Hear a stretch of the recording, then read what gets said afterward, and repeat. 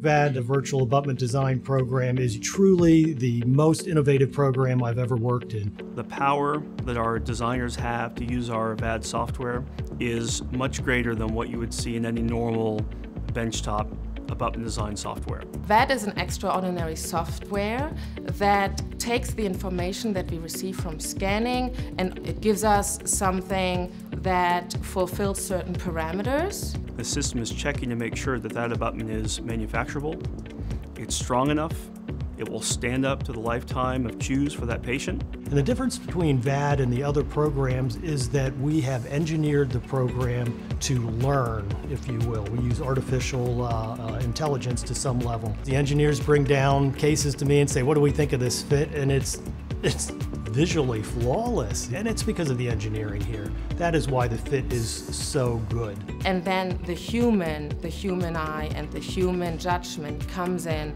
and fine tweaks it to its best. So the team spends uh, under five minutes generally on a design. They have intentionally built this system so that people do the the parts of the business that are important for people to do. File movements, uh, all these other movements are automatic.